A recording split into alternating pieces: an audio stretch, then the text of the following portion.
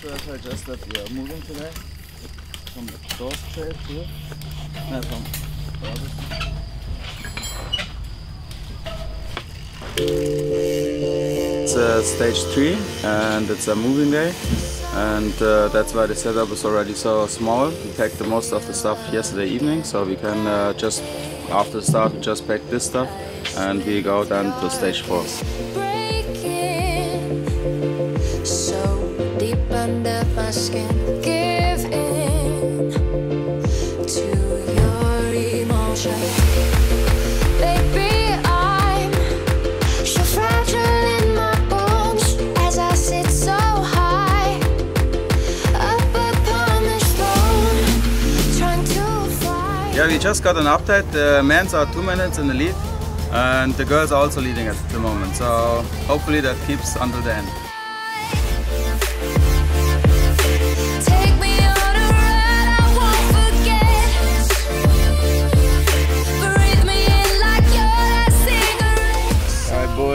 got some lekker news. Uh, looks like it's 69 Ks on the stage.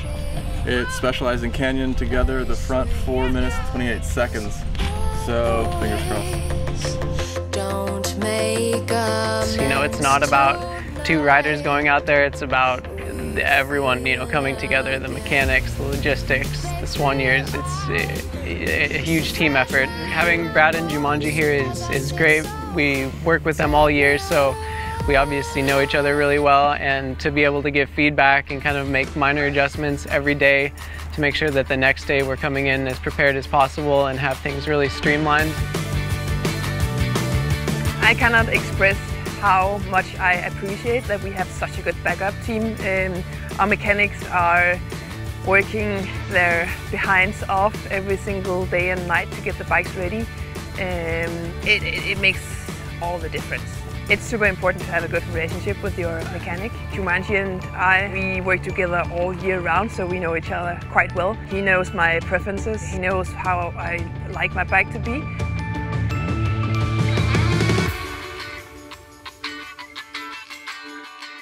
I mean, the Cape Epic is one of hardest race for the bikes and uh, everything must be perfect and I'm really happy we have Jumanji and Brad and uh, they are best mechanics ever.